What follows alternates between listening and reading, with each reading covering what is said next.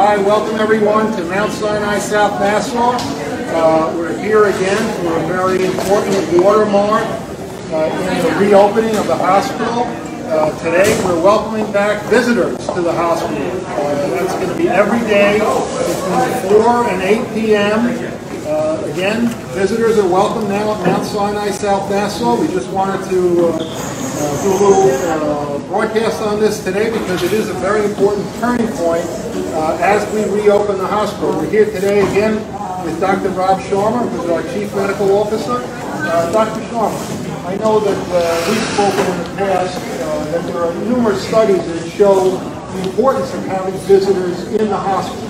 Back Absolutely. So visitation and having your loved ones with you while you're healing is an important part of wellness and an important part of the healing process. So we are very thrilled to have visitors back uh, after all this time.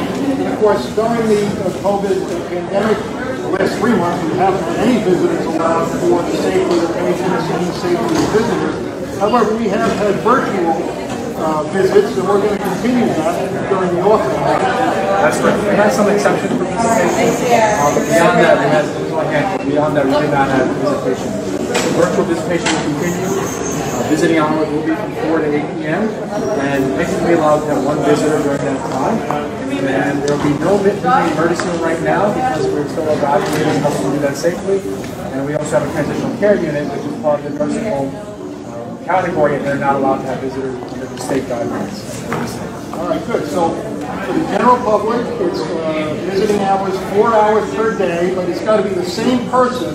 You can't do two hours one person and two hours somebody else, another family member. No tag team visiting yet. No tag team visiting, that's a good phrase, I like that. And when you come in, of course, the procedures are going to be much different. Right behind us, we have a lot of staff that's helping out as we get ready to reopen. Uh, it, it is going to be not like it was before.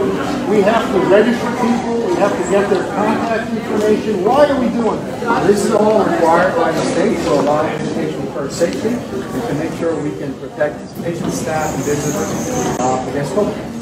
So uh, in case, for instance, there is another outbreak, we might have to contact people and let them know, right? That's correct. And that's one reason we're asking you for their contact information.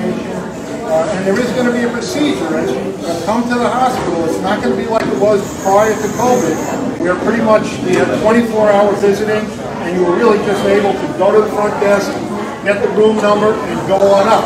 It's going to be more uh, involved when you come in, and we should mention also, very importantly, you're going to need one of these. You're going to need a surgical mask, right? And that's the entire visit, right? That's correct. And when you do visit, you are required to stay in the room of your, of the patient that you're visiting and really not actually walking around the building that again is to protect everyone. Um, and if you are seeing somebody on our behavioral health unit, your visiting hours are 6 to 8 p.m. for that specific. Okay. So you got to have a mask. Bring a mask before you come. No tag team visiting. I like that phrase. No walking around the hospital. You got to go right to the room. Closer in. Uh, stay in that room for as long as you want, up to four hours, between four and eight. And then you'll hear an announcement, I think, when visiting hours are over.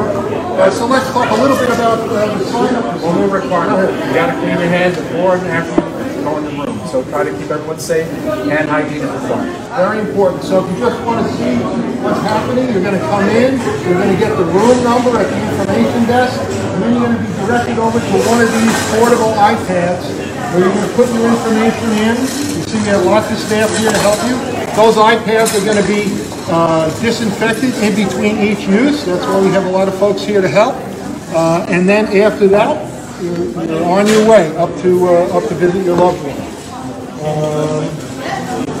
Need anything now? Be pretty good. Welcome back, everyone. Okay, we're very excited to have everyone back uh, visiting Mount Sinai South Nassau. We've missed you. Uh, welcome back. Thank you.